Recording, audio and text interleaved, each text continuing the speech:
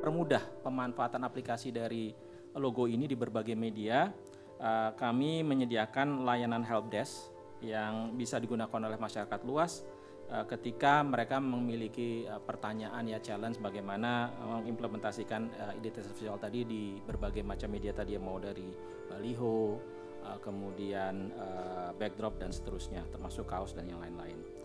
Dan di dalamnya ada satuan kerja desain desain identitas visual nasional yang beranggotakan yang bertugas mengawal penggunaan pedoman identitas visual oleh kementerian dan lembaga memberi penjelasan juga isi pedoman agar lebih mudah dimengerti dan juga menjaga konsistensi aplikasi desain sesuai dengan pedoman.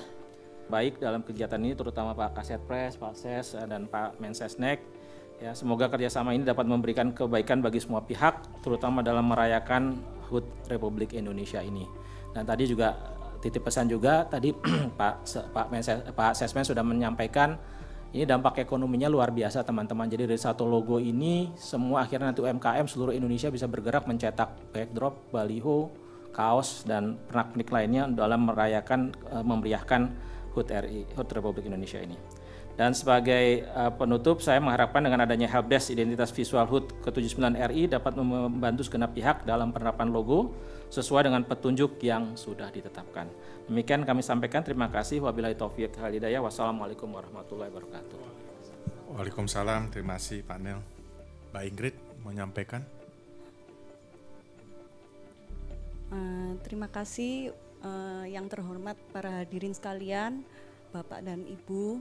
Uh, saya Ingrid Wenas mewakili tim uh, uh, sangat bersyukur dan mengucapkan terima kasih untuk kesempatannya untuk berpartisipasi dalam berkontribusi untuk mendesain logo HUT RI yang ke-79 ini. Syukur kepada Tuhan, saya panjatkan dan terima kasih kepada seluruh tim ADGI untuk seluruh kesempatan dan bimbingannya. Uh, semua berawal hanya dari mimpi untuk memberikan yang terbaik berkontribusi kepada bangsa dan negara ini uh, dengan seluruh skill yang kami